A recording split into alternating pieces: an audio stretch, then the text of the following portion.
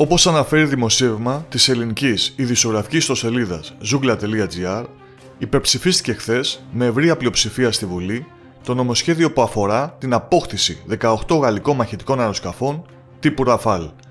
Πιο συγκεκριμένα, υπέρ του νομοσχεδίου ψήφισαν τα εξής πολιτικά κόμματα: η Νέα Δημοκρατία, ο ΣΥΡΙΖΑ, το ΚΙΝΑΛ και η Ελληνική Λύση.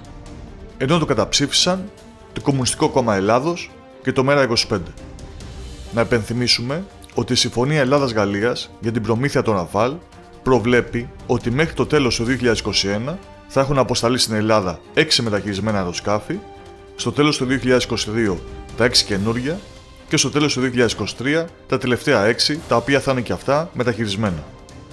Η έναξη θα γίνει 6 μήνες μετά την ψήφιση του νομοσχεδίου, οπότε αυτό σημαίνει ότι το πρώτο αεροσκάφος θα έρθει στην Ελλάδα Ιούλιο με Αύγουστο.